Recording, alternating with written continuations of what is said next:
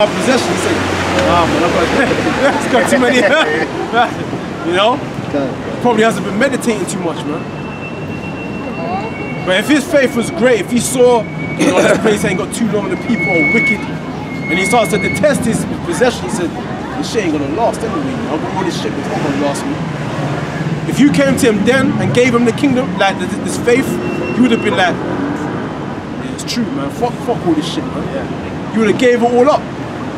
Because this guy here, you probably had it all, man. So it was like you probably heard about the, the, the gospel, but he probably you weren't deep in his faith and all that, man. So he gave up the faith for his possessions. Okay, that was his consolation. Has anybody brought out Matthew 6 and uh, 19 yet? Has it come out? Right. This is Matthew 6 and 19. It says, Laying up for yourselves treasures upon earth, where moth and rust doth corrupt, and where thieves break in and steal. Lay up yourselves treasures in heaven, where moth and rust do not corrupt, and uh, where thieves do not break in and steal. For where your treasure is, there will your heart be also. That, that's that's that's where his heart was, man. His, his drive was towards the riches, man. You know, and pro- and probably uh, who who told him to give up his possessions? The Messiah, Yahweh Shai, right? Yahweh Shai was probably just, just trying to test him. Probably didn't literally mean it. Probably just said, give all your possessions to test him to see what he's gonna do. Because at the end of the day, that's what's gonna happen. It's all gonna boil down to. When all hell breaks loose, like Lot's wife, man, and Lot, when they're about to be Sodom, man, you couldn't take all your possessions with you. It's either getting delivered out of that shit, or you stay with all your possessions and get burned up. So at the last minute, you had to you had to pick a choice, man. Which one? You had to make a, a quick decision. What are you gonna do? You know what I'm saying? Because the more possessions you have, it's the more, it's the longer it's going to take for you to make a decision. That's why it says, bound not treasures up on earth. Because when you do it, it- it's going to take a long time for you to make it. You're going to be looking at all your shit and be like, no, you know. Right. Yeah, yeah, yeah. It's going to be like, and then you're going to try and take a little bit in your pockets, try to put, you know, fill out your pockets a bit. And that's going to take more time, and the missiles are getting closer, man. You're like, fuck that, man. You look at this t-shirt thinking, damn, man. Let's try this on, man. Make sure that I look good at least. You know what I'm saying? Yeah, because even in movies, every time they show a guy, like uh, every time they show a guy that's sort of like trying to take as much as he can carry, those guys always die. In the movie. they always die in the Like movie. in this man. movie, yeah. Raiders of the Lost Ark. Like in this movie, The Mummy, innit? The mummy, that's what I was The thinking about, Mummy, yeah. The Mummy, yeah. Because they went up there for the gold, innit? Yeah. they know they got the, the, the, the dead, the Egyptian book of the dead and all that. They tried to resurrect the mummy and they were trying to get into the pyramids, yeah, the, the tombs of the pharaohs to find get all that treasure. And one of them motherfuckers got into the into the treasure and he was surrounded by treasure, man. And like I forget what happened, man, but I know the motherfucker he got closed, he got closed in. He, tried, he tried to fill up the shit with, with gold and shit. And then all the little termites came and yammed him up, man. or he even got, he got shot inside. He tried to get inside, but the thing was closing and he was trying to drag as much money as possible, but the thing was slowing him down. I like it. He took some out and put them on the camera and they went back for more. Because And even when you were talking about um, Lot's wife here, she left with Lot and the company of the people, but she looked back. She looked back. And when you look, when you compare that to the truth, it's like, you know, there's some people that they're here like, okay, I might as well, but they still miss the things of the past. So even if you've left or you've come into this and you're still missing the life before, that's like looking back. Yeah, looking back, man.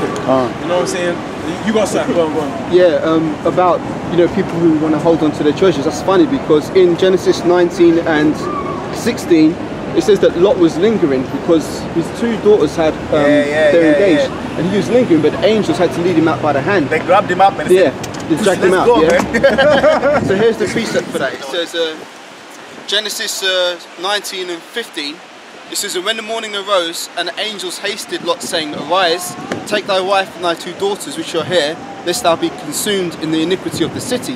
Here's the point in verse 16. It says, While he lingered, the men laid hold upon his hand, and upon the hand of his wife, and upon the hand of his daughters, and Yahweh being merciful unto him, and they brought him forth and set him out without the city.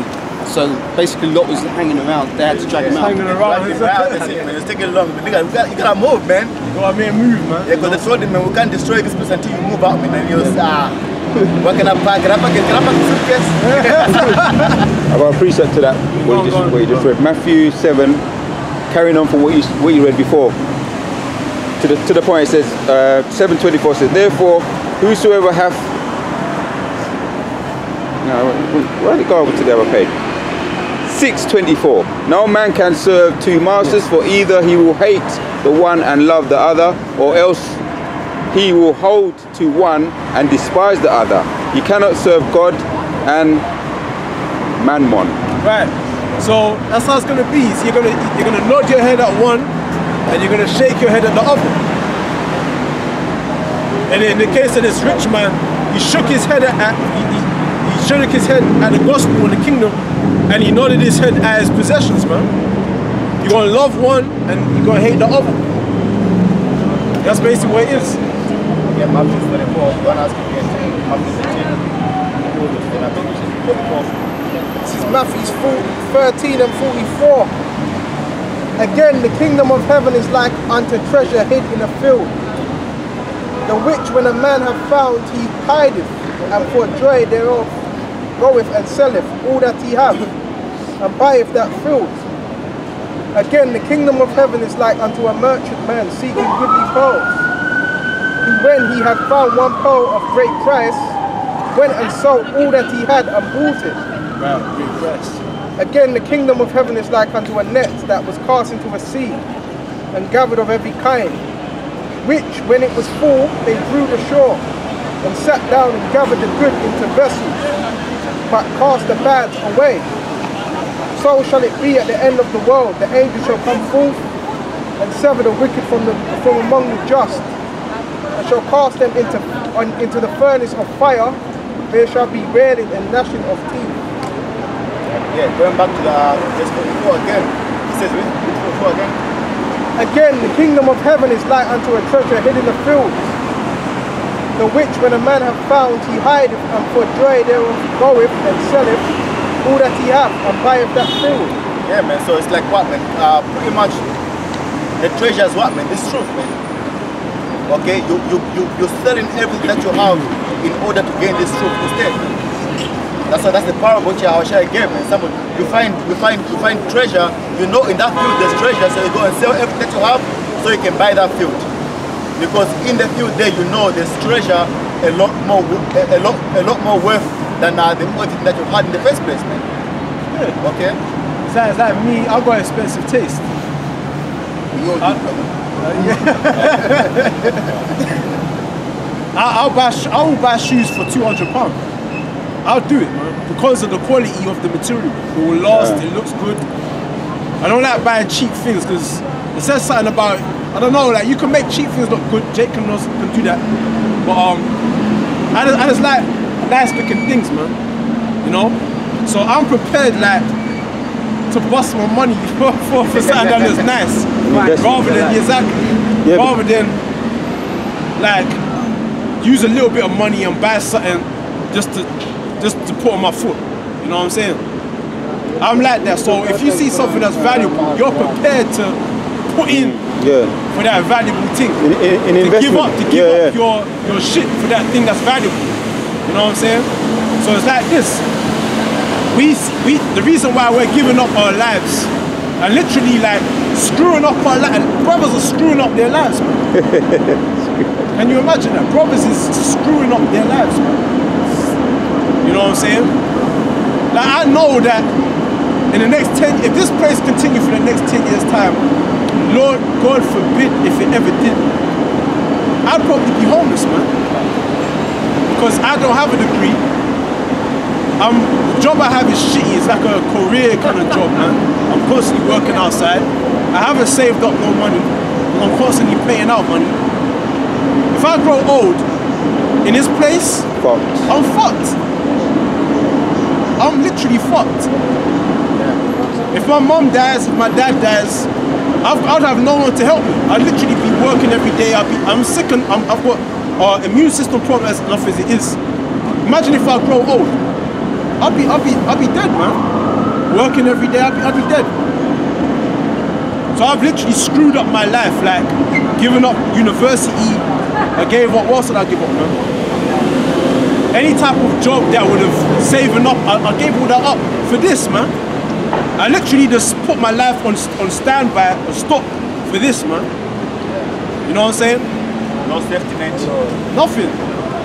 I've literally put all my trust in the in the incoming of, of the kingdom, of Yahweh Shai coming back. I've literally put my all into it. You know? So that's why I, I value this the, the kingdom. I see afar off. I see Yahweh Shai coming. I see all the people shamefaced, man, screaming in terror, man. All the people that have invested, I see it, man. I see the, the chariots. I see the deliverance. Okay? I see everything, everything in this place being destroyed, man. Everything that's been put into this place being destroyed, man. The buildings, the fashion, the clothes, the cars, everything, the, the money's all being destroyed, man. All I see is, is Yahweh Shai, okay? The chariots, the sword, the, that's all I see. And I value that. So much so that that outweighs the current life that I'm living. I'd rather throw away the current life I'm living for that, man. Who's first? Go, It's on the way. go, go, go, go. This is uh, quickly in Matthew chapter 4, verse 18. And Yahushua walking by the Sea of Galilee saw two brethren, Simon called Peter and Andrew his brother, casting a net into the sea, for they were fishers. And he saith unto them, Follow me, and I will make you fishers of men. This is the point. And they straightway left their nets and followed him. That's how shit their life was, man. Their life was so shit that all it took was Yahusha said, man, come follow me. You know, like, anything beats this, man. They, they drop them nets and just Right. straight away, man. You know what I'm saying? Because they, they weren't making much anyway, man. You know? For them that did that straight away, that means the life that they were living was little to shit, man, basically. Yahusha came confidently like he knew what he was saying, come follow me. You're like, okay, cool. That shows humility also. Uh, this is Colossians chapter two, chapter three and verse two. It says, "Set your affection on things above, not on things on earth, for ye are dead, and your life is hid with Hamashiach in the Most High. When Hamashiach, who is our life, shall appear, then shall ye also appear with him in glory." Read that again. Uh, Colossians chapter 3 and verse 2 it says, Set not your affections on things, so it's like set your affections on things above, not on things on the earth. For ye are dead, and your life is hid with Hamashiach in the Most High. When Hamashiach, who is our life, shall appear, then ye also shall appear with him in glory. Yeah, man. Set not your affections on earth, man. You see a lot of these music videos with these rappers, man. They, they love showing their jewelry. You know, different chains, the different type of jewelries that just spin around. And throughout the whole music video, they're just looking at their, their things, man. And setting their affection on it, man. Yeah. Looking cool and all these hoes round about them. Set, yeah, set not your affection, because all these things are dead things. None of these things, your jewelry's gonna save you, man. Yeah. Different, you got, you can design different jewelry. Like, you can get a ring that can spin and shit. Yeah. Ice round it, watches, shades looking all cool for the video. It's all is dead, man. Meanwhile, you're in a body that can be sick. You're trying to adorn your corruptible flesh, man. And so it's vanity, man. It really is. What's the point, man? Here it is, you're trying to look perfect, but you're not perfect, man. You're not perfect. Like You guy, can get sick, you got uh, uh, mucus coming out your nose, but you're looking all flashy. It's vain, man. What's the point? If you want to be perfect, be perfect according to what the scriptures say. Perfect, like we're gonna get new bodies. Then we can put on that show because we're gonna be actually gonna be perfect. You know what I'm saying? But you see all these rap rappers, that's all a vain show. They're not perfect, man. They're not as perfect as they're showing themselves to be. They're not, man. Got a car and you got the girl screaming. He's just a guy, man. You probably catch a cold later on, man. And you know too, a lot of those um those rap videos that those that those guys be making, a lot of it's fake. yeah. Like they rent the cars, Yeah. oh, they rent the women as well. See what I'm saying? Rented. Yeah. See what I'm so saying? you're watching it thinking that oh this is how Yep, they live. yep. Yeah. But they not live like I, that. I was watching one music video with um Migos. It's called Migos. Oh, yeah, And the um, jewelry is rented. Huh? A lot of the jewelry is rented. for them, yeah. A lot of the jewelry is rented. he's in he's in a limousine. Where is he? He's in um is it France, Spain, or something like that. And he's just looking at his jewelry and it was spinning and shit. The different interchangeable jewelry. I'm like, and he's in a club, right? A stripper club. And the woman there got fat, really and everything like that. Money is falling from the ceiling and shit. I'm thinking that's not real, man. That's just a, a fucking like it's an act, man. You know, they, they got money actually like paper money falling from the ceiling. That's not real, man. That's set up, man. That's staged. That's all staged, man. That's not how. That's not real life, man. That's not the real life that they're living. It's, it's, it's just some some dream, man. Yeah, I like that. it's an illusion. They've uh, just got the notification. They've just voted on this Brexit situation, and uh, the MPs they've, they've voted to extend it again to January the 31st. Don't, don't tell me, wait. It's now it's now now till January the 31st. So now he has to go and ask for an extension now again for Brexit. Are the MPs? But they're gonna have the vote today. I thought it was yesterday, but I believe like I, last last time the Baba said to me they're gonna be uh, doing it Saturdays now, overtime was like, yeah, from last week. Yeah, they're never, they're, never, they're never in parliament on the, on the Saturdays, but now they have to come in. Uh, they have to come to work on the Saturday now to do this voting thing. And now they basically they've rejected uh, Boris Johnson's new agreement uh, for the Brexit, and now they're going to ask to, uh, to extend it now even further. So it was supposed to be the 31st of October. Yes, Now yes. they've extended October. it. Yeah, so yeah, now yeah. they're going to have to request to extend Brexit again, Not even by one month, all the way to January. January 31st. More, more waiting, man. Let's go. That's right. I just remember, I just because I saw the woman there with the, uh, with the uh, European Union flag, and I remember, I just remember to check uh, what the result was in it. And uh, yeah, they've extend, they want to extend it now, man. This place is confused. It's divided, man. You know, the Lord said about divided kingdom. They can't agree, and they are all Edomites. All these countries, they are all Edomites. You know, but they have they broken up and divided, and they can't agree, and you know, falling apart, man. You know. So James 5 and 1. Go to, it's like a go to now, ye, it's like a go to now, ye rich man,